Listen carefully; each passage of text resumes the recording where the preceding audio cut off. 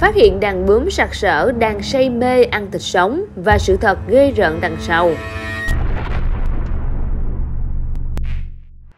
Nhắc đến loài bướm, người ta thường sẽ hình dung đến vẻ đẹp sặc sỡ, mỏng manh, dịu dàng thường thấy.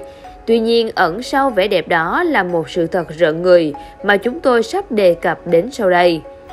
Khi một nhóm bạn trẻ đang cùng nhau đi dã ngoại ngoài suối, thì tình cờ phát hiện cảnh tượng khó tin. Hàng chục con bướm sặc sỡ đang vây quanh xác của một con cá. Khi tập trung quan sát, nhóm người thất kinh phát hiện những con bướm này đang dùng miệng để gặm nhấm phần thịt thối rữa từ con cá kia một cách say sưa, hay nói cách khác, chúng đang từ từ ăn thịt con cá.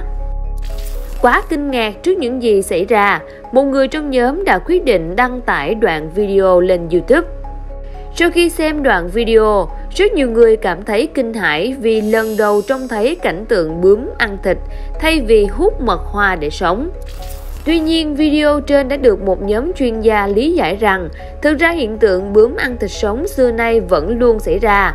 Nguyên nhân là do ở một số nơi lượng mật hoa không đủ cung cấp chất dinh dưỡng cho bướm nên chúng phải tìm thêm từ những nguồn thức ăn khác như là xác chết, bùn hoặc chất thải động vật và dùng vòi để hút chất dinh dưỡng.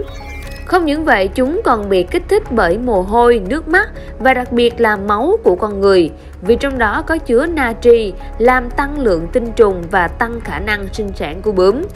Vậy nên nếu một ngày đẹp trời có con bướm nào đậu vào người bạn thì cũng đừng tưởng tượng là mình thơm tho đến mức thu hút cả sự chú ý của loài bướm.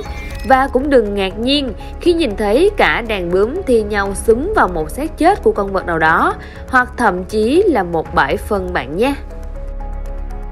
Cảm ơn các bạn đã quan tâm theo dõi. Tin 3 phút bí ẩn là một kênh thuộc hệ thống của Tin 3 phút chuyên về các chủ đề bí ẩn, tâm linh. Đừng quên đăng ký kênh để theo dõi thêm các clip ly kỳ hấp dẫn mỗi ngày.